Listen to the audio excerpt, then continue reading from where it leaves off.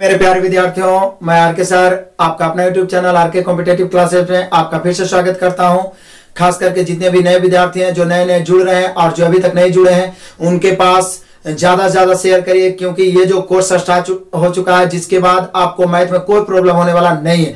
तो रेशियो भी स्टार्ट कर चुके हैं, उसका वीडियो आपको रेगुलर मिल रहा है। आज मैं लेके आया हूँ बेसिक का अगला पार्ट अभी तक आप स्क्वायर देख चुके हैं। स्क्वायर में जितना ज़रूरत है उतना पढ़ा चुके हैं। बाकी आपका क्लियर होगा जब हम लोग स्क्वायर रूट्स पढ़ेंगे, यानी वर्गमूल तो। आज मैं आपको बताने वाला हूँ घन क्यूब कि किसी भी दो अंकों की संख्या का घन हम लोग बिल्कुल सेकेंडों में कैसे कर सकते हैं। इसके लिए मैं आपको पहले ही बता दिया था कि 50 तक का स्क्वायर याद रखना है, और अब हम मैं आपको बोल रहा हूँ कि 25 तक का क्यूब डायरेक्ट याद रखना है। 25 तक का क्यूब ताकि एकदम 25 24 21 20 आए माइंड में हमारे, उसका क्यूब क्लिक कर जाए। तो वो क्यूब याद रहना चाहिए। ये सब तब फ़ायदा करेगा जब हम लोग स्क्वायर रूट और क्यूब रूट पढ़ेंगे, जिससे रिलेटेड निश्चित रूप से क्वेश्चन आते हैं। तो आइए शुरू करते हैं। पच्चीस तक का क्यूब ज़रूर याद करें। मैं स्पेशल लिख दिया हूँ। आपको 25 तक का क्यूब याद रहना चाहिए। 50 तक का स्क्वायर भी हम बोले थे जब स्क्वायर चल रहा था। तीन पार्ट्स में स्क्वायर समाप्त कर चुका हूँ। बारीकी से एकदम। तो उसको देख ज़रूर लीजिए क्योंकि वर्गमूल पढ़ना बहुत आसान होगा, मज़ा भी आएगा। डिस्क्रिप्शन में लिंक मिल जाएगा। तो 25 तक का स्क्वायर मैं लिख भी दिया हूँ, इसको याद कर लें एकदम कंठस्थ। जैसे कोई बोले इक्कीस तो बानवे, इकसठ, तेरह तो इक्कीस, सत्तानवे, पंद्रह, तैतीस, पचहत्तर। इस प्रकार से आपके माइंड में क्लिक कर जाना चाहिए। एकदम याद रहना चाहिए। ये आगे भी काम देंगे। बहुत सारे जगह जहाँ पे आपको इस प्रकार के क्वेश्चन पूछे जाते हैं। तो अब आइए, इसके दो अंकों का और बड़ा संख्या रहेगा, जिसका नहीं याद है, पैंतालीस है, चौसठ है, बासठ है, तिरसठ है। तो उसका स्क्वायर हम लोग कैसे करेंगे? तो समझ लीजिए, पहले तो इसको एक बार मैं बोल देता हूँ, आप सभी भी साथ में बोले एक का क्यूब एक, दो का क्यूब आठ, तीन का क्यूब सत्ताईस, चार का क्यूब चौसठ, पाँच का एक सौ पच्चीस, छह का क्यूब दो सौ सोलह, सात का क्यूब तीन सौ तैतालीस, आठ का पाँच सौ बारह, नौ का सात सौ उनतीस दस का क्यूब, एक हज़ार ग्यारह का, तेरह इक्कीस, बारह का, सत्रह अट्ठाईस तेरह का, इक्कीस संतानवे चौदह का सत्ताईस चौवालीस, पंद्रह का, तैतीस, पचहत्तर, सोलह का, चालीस, छियानवे, सत्रह का, उनचास, तेरह, अठारह का, अंठावन, बत्तीस, उन्नीस के अड़सठ, उनसठ, बीस के आठ हज़ार, इक्कीस के बानवे, इकसठ बाईस के, दस हज़ार छह सौ अड़तालीस, तेईस के, बारह एक सौ सड़सठ, चौबीस के, तेरह आठ सौ चौबीस, पच्चीस के, पंद्रह छह सौ पच्चीस। बीस तक को पहले से याद होगा, पाँच को बढ़ा लेना है। मैं बोलता हूँ कि मैथ बहुत अच्छा करना है तो तीस तक टेबल एकदम कंठस्थ रहना चाहिए, पच्चीस तक क्यूब और पचास तक स्क्वायर याद रहना चाहिए, ताकि कभी भी कैलकुलेशन कहीं भी करना हो तो फास्ट हो, क्योंकि कैलकुलेशन फास्ट है आपका मैथ फास्ट हो जाएगा, बहुत मज़ा आएगा, क्योंकि बाकी मैथ तो एक मेथड ही है। तो यहाँ तक स्क्वायर क्यूब याद होना चाहिए। अब इससे बड़ा पूछेगा। मान लीजिए आपसे पूछ दिया कि बयालीस का क्यूब करो जी। ठीक है? या आपसे पूछ दिया कि पैतालीस का क्यूब करो। या आपसे पूछ दिया कि चौसठ का क्यूब करो। तो हम लोग कैसे करेंगे? या मान लीजिए हम लोग 24 का क्यूब तेरह सौ अड़सठ लाए हैं। देखते हैं इस मेथड से बना के 24 का क्यूब तेरह, ये तेरह हज़ार आठ सौ चौबीस आता है या नहीं आता किसी का भी। इस मेथड से हम लोग बनाएँगे। कैसे बनाएँगे, जरा ध्यान दीजिए। स्क्वायर भी दो अंक सिखाए थे आपको क्यूब बस एक को ध्यान देना है। यहाँ मैं कुछ लिख नहीं रहा हूँ, मैं ये चार क्वेश्चन बताऊँगा, चारों में आपको सीख लेना है। ये होता है इकाई अंक। इकाई, और ये क्या होता है? दहाई। तो सबसे पहला क्या करना है? मैं लिख ही देता हूँ, चलो ध्यान भी रहे। पहला काम करना है इकाई का घन। इकाई का घन। ठीक है? दूसरा काम करना है दूसरा इकाई का वर्ग करके सबसे गुना सब अंक से, जय अंक आपको दिख रहा है, सबसे गुना तीसरा काम करना है, दहाई का वर्ग करके सबसे गुना और लास्ट में चौथा काम करना है, चौथा काम दहाई का घन ये चार काम करना है और ये चार काम मात्र सेकेंडों में करना है।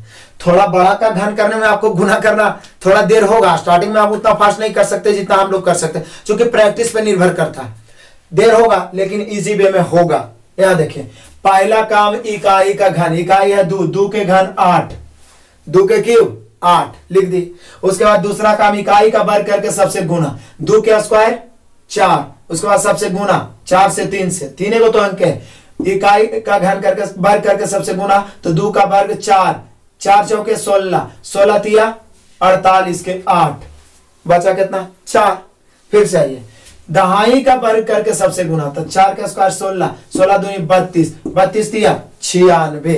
बत्तीस दिया छियानवे। छियानवे और चार चार में क्या था? सौ के ज़ीरो। बचा कितना? तो दस बचा। उसके बाद अंतिम में दहाई का घन, चार के घन, चौसठ, दस, चौहत्तर। चौहत्तर हज़ार अठासी। एक बार फिर से देखे बताता हूँ। पहला काम इकाई का घन, फिर देखिए दूसरा काम। इकाई का वर्ग करके सबसे गुना, फिर तीसरा दहाई का वर्ग मतलब एक बार इसको स्क्वायर करके सबसे गुना, फिर इसको स्क्वायर करके सबसे गुना। और फिर अंतिम में दहाई का घन। मतलब एक बार इकाई का घन, फिर स्क्वायर करके गुना, स्क्वायर करके गुना, फिर लास्ट वाला का घन। फिर से। दो का घन तो दो का घन आठ। कुछ नहीं बचा। उसके बाद दो का स्क्वायर चार चार चौक सोलह सोलह अड़तालीस के आठ बचा कितना? चार। ही ध्यान रखना। है ऐसे भी कैलकुलेशन में आप जितना याद रखेगा ये एक तरीका के जैसे सुबह सुबह व्यायाम नहीं हो जाता है लोगों के स्वास्थ्य के लिए। उसके लिए मैथ के स्वास्थ्य ठीक करने के लिए कैलकुलेशन एक व्यायाम है। कैलकुलेशन आप डेली दस मिनट, बीस मिनट अलग से बनाते हैं तो आपका मैथ बहुत बेटर हो जाएगा। यहाँ फिर सही दो का क्यूब आठ, दो का स्क्वायर चार चार सोलह सोलह, अड़तालीस के आठ, बचा चार। चार के स्क्वायर फिर सोलह सोलह दूनी बत्तीस बत्तीस दिया छियानवे छियानवे, चार, सौ के ज़ीरो, बचा कितना? दस। अंतिम में चार के क्यूब चौसठ, दस, चौहत्तर, हो गया चौहत्तर, ज़ीरो, अट्ठासी। यहाँ देखिए पैंतालीस का घन कर रहे हैं। बताइएगा। पाँच के घन, एक सौ पच्चीस के पाँच, बचा कितना? बारह। याद रखिएगा। पाँच के क्यूब एक सौ पच्चीस के पाँच क्यूब पहले करना है। पहला काम इकाई का घन तो पाँच बचा बारह। पाँच के स्क्वायर, पच्चीस। पच्चीस का सौ सौ दिया, तीन सौ। तीन सौ। अब बारह। तीन सौ बारह के दो, तीन सौ बारह के दो बचा इकतीस। तीन सौ बारह कैसे लिखते हैं? ऐसे ना, इसका दो तो बचा कितना? इकतीस। इकतीस बचा, ध्यान रखिएगा। उसके बाद चार के स्क्वायर, सोलह। सोलह पचे अस्सी। अस्सी दिया दो सौ चालीस। दो सौ चालीस और इकतीस जोड़िएगा दो सौ इकहत्तर। इसको करने से जोड़ने का पावर बढ़ जाएगा। दो सौ इकहत्तर के एक बचा के ना सत्ताईस। अंतिम में चार के क्यूब चौसठ। चौसठ में सत्ताईस जोड़िए। चौसठ में सत्ताईस जोड़िएगा तो आपका आ जाएगा इक्यानवे। चौसठ में सत्ताईस जोड़ के देख लीजिए, आ जाएगा इक्यानवे। चौसठ में सत्ताईस जोड़िए, कितना आ गया? इक्यानवे। हम लोग का आंसर हो गया इक्यानवे एक सौ पच्चीस। क्लियर है? फिर सही। चौसठ का क्यूब कर रहे हैं। चार के क्यूब इकाई अंक का घन पहले करेंगे तो इकाई अंक है चार। चार के क्यूब चौसठ के चार, बचा कितना? छ याद रखिए। अब स्क्वायर चार का स्क्वायर सोलह सोलह छियानवे। अब छियानवे को तीन से गुना करिए। छियानवे तिया। छियानवे को तीन से गुना करिएगा तो छियानवे तिया आएगा दो सौ अठासी। बोले सर, इतना जल्दी कैसे कर लिए? हम छियानवे को सौ मान लिए। सौ तिया तीन सौ और छियानवे चार कम है तो चार तिया बारह घटा दिए। माइंड में इतना कैलकुलेशन किए तो कितना हो गया? दो सौ अठासी। फिर से, चार का घन चौसठ के चार बचा छह चार के स्क्वायर कितना? सोलह सोलह छियानवे छियानवे दो सौ अठासी, दो सौ अठासी और छ चौसठ वाला? दो सौ अठासी और छ कितना हो जाएगा? चौरानवे। दो सौ चौरानवे के चार, बचा कितना? उनतीस। क्यों? क्योंकि दो सौ चौरानवे ऐसे लिखते हैं।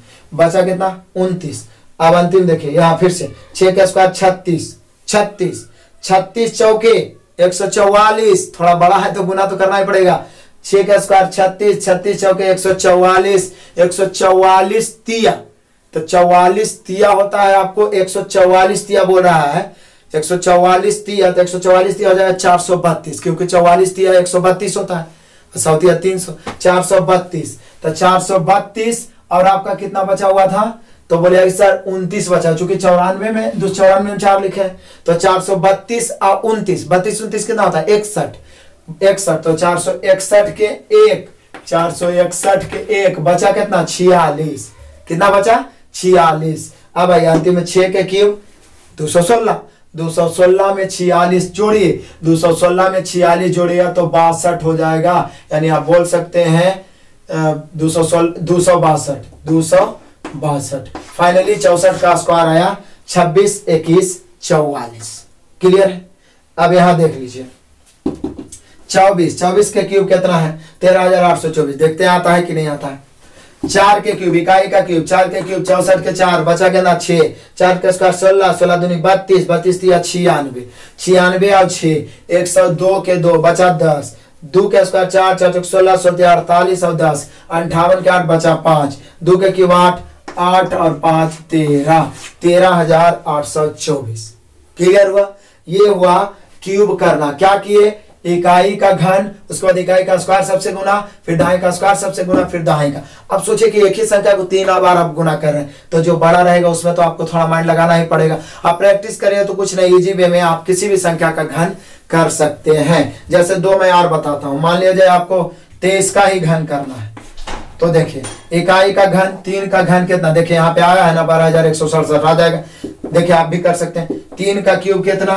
तो सत्ताईस के साथ बचा दू। अब तीन का स्क्वायर नौ नौ दुनिया अठारह अठारह थिया चौवन, दो छप्पन के छह बचा, पाँच, फिर दो के स्क्वायर चार चार थिया बारह बारह थिया छत्तीस छत्तीस पाँच इकतालीस के एक बचा चार, दो के क्यूब कितना हो जाएगा? आठ आठ और चार, बारह बारह हज़ार एक सौ सड़सठ, देखिए, तेईस के हो गए। किसी का भी आप कर सकते हो, कोई दिक्कत नहीं है। इजी वे में, बाकी तो आप याद रखिएगा तो ही ठीक रहेगा। तो आपको मैं दो देता हूँ, इसको आपको करना है। एक तिरपन का घन तिरपन का घन आपको कमेंट में इसका जवाब देना है। और एक आपको करना है। एक आपको करना है तैतालीस का घन। ये दोनों का जवाब आपको कमेंट में ज़रूर देना है। बिल्कुल बारीकी से आपको बता दिया हूँ। इकाई का घन, फिर दाई का स्क्वायर करके सबसे गुना फिर इकाई का स्क्वायर करके सबसे गुना, फिर दहाई का स्क्वायर सब करके सबसे गुना, अंतिम में दहाई का घन। क्लियर है? हंड्रेड परसेंट आपको समझ में आया होगा। अच्छा लगा तो लाइक करिए और सभी विद्यार्थियों को शेयर करिए। आप कैलकुलेशन से नहीं भाग सकते। मैं मानता हूँ कैलकुलेशन थोड़ा बोरिंग है, लेकिन इससे भागे तो पूरा मैथ बोर हो जाएगा। ठीक है? लाइक करिए और दोस्तों को शेयर करिए। वीडियो को तक देखने के लिए धन्यवाद।